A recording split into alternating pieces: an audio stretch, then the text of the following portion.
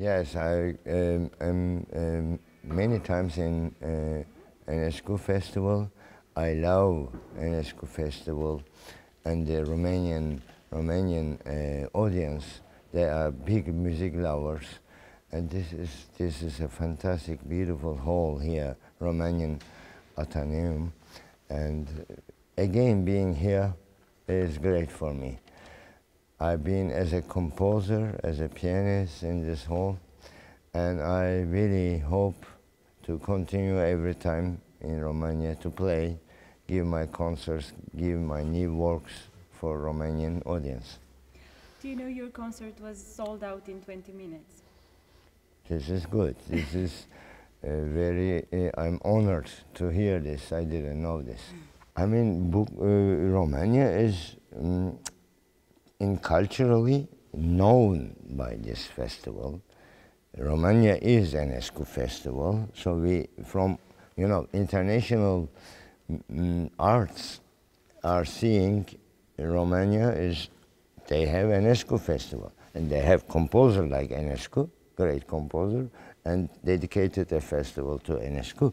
So everybody internationally knows this. This is great. Can you tell us just a few words about your repertoire tonight? With a full hall for sure. Yeah, it's a very nice uh, repertoire beginning with Debussy music, very famous five preludes and the Clair de Lune. And then I do my own compositions. New Life Sonata is a pandemic piece, pandemic times piece, and Black Earth and my ballads or so. And then comes Appassionata of Beethoven, which is a very famous, difficult, and virtuoso uh, and dramatic piece. And in the end, we end the concert today with Bach. And I think it's a good idea. I first time end a concert with Bach, and I want to try it here in Athenaeum in Bucharest. Uh, so uh, this is a late evening concert. We begin at 10.30, so finish at 12 o'clock. So I think people should go home and sleep with Bach. Do you remember your first contact with George Enescu's music? Yeah, uh, I love, of course, you know, um, I'm Turkish and Romanian music and Turkish music has so much similarities in DNA of folklore, rhythms, and this uh, Eastern European, Balkanic rhythms in the music, and such a similarity. And of course, Enescu music is very much uh, close to our music, and Turkish people love Enescu. That's why. So maybe an idea now. Uh, next time I come, I should play Enescu music. Talking about Enescu and using folklore or Romanian themes in his music, you use um, Turkish. Turkish instruments and uh, legends and history. Yes, I'm a composer telling stories with my music, telling, um, you know, persons, cities in Turkey, uh, or political events and, and all these demonstrations. And I make with my music a comment to my life and what I see in my country, in the world. So this is uh, how I, how the life and the world inspires me in Turkey. I think Enescu was similar to react uh, the world and his country in a way. Do you, do you think you sometimes take a risk by commenting through your music? Yeah, but uh, life is good if you take risk, I think.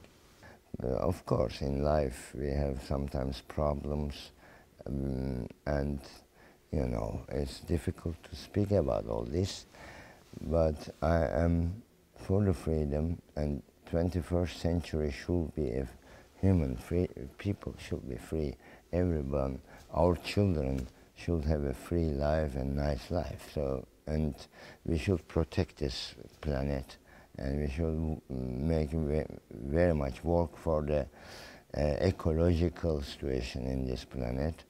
And of course, um, countries like Turkey, we have to work on democratic uh, speeches.